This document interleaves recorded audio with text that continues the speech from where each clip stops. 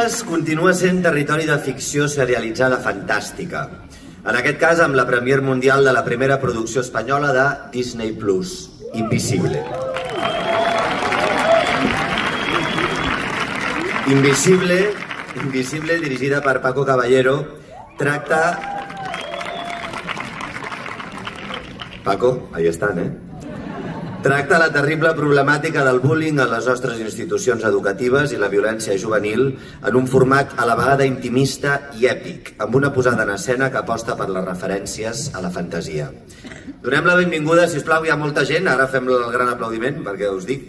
Tenim el Paco Caballero, el director, l'autor Eloi Moreno, els productors Marta Velasco, Juan Gordon, Alejandra Arostegui i Javier Pascual, la guionista Virginia Yagüe i les actrius i els actors Aura Garrido, Eric Seijo, Diego Montejo, Liv Dobner i Isaac Fernández.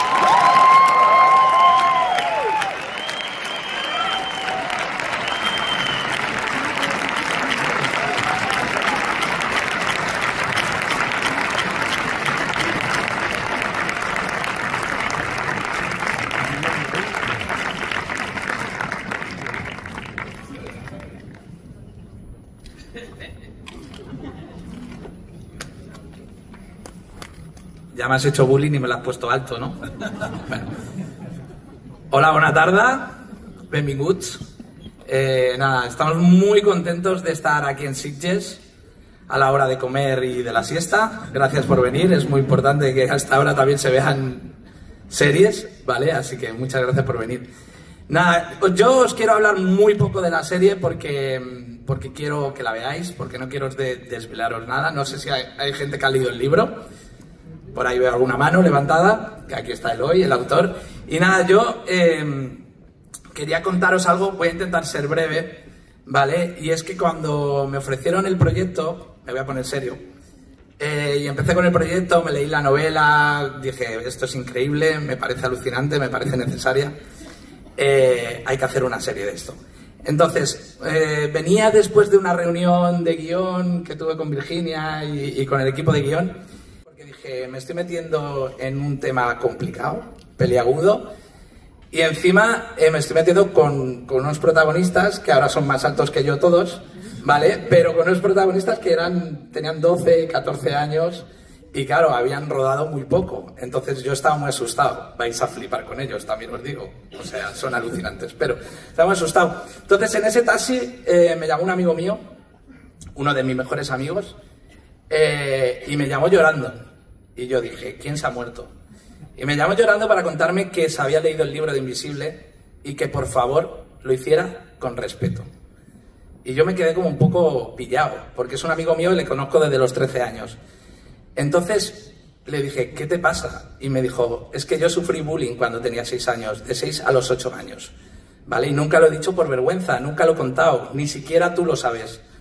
Entonces yo ahí me di cuenta de que, de que la serie ya daba un poco igual, entenderme. Daba igual si la serie era mejor, peor, que está muy bien, ¿vale?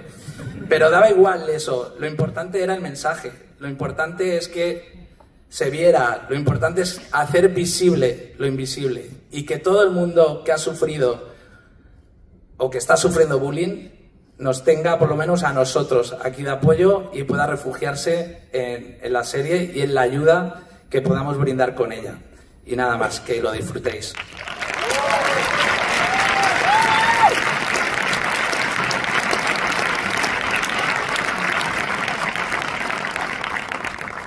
Bona tarda, moltes gràcies per vindre així.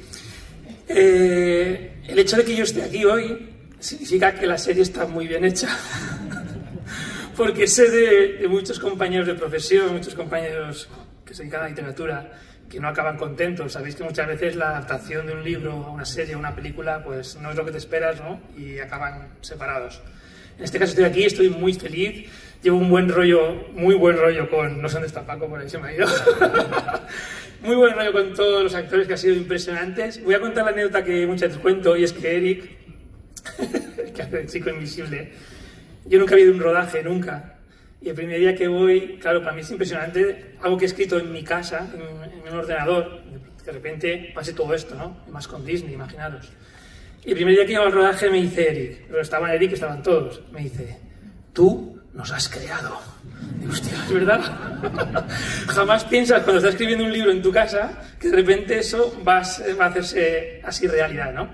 Y bueno, mi mayor miedo era que no se respetara el libro, y lo, lo entendéis, entiendo, y que no se respetara lo que acaba de decir Paco, que es esa esencia de que al final es un libro duro, un libro que habla de, de bullying, ¿no? de un problema, y en el que no se centra solamente entre el agresor y el agredido, que es un poco lo que siempre se centra en todos los libros, sino en los testigos, ¿no? la gente que hace que otros sean invisibles. Lo han hecho muy, muy bien. Yo he llorado mucho con la serie de emoción. O sea, yo he estado en los rodajes, he podido ver los guiones. Hemos estado hablando Paco y yo muchas veces y eso me ha encantado, ese buen feeling que hemos tenido con toda, con toda la gente. Dar las gracias a, también a, a, Marta y Alejandra que han hecho posible esto desde que era muy pequeñita la, la opción de hacer algo tan grande con Disney. Y nada, me callo ya para que podáis ver la serie. Muchísimas gracias.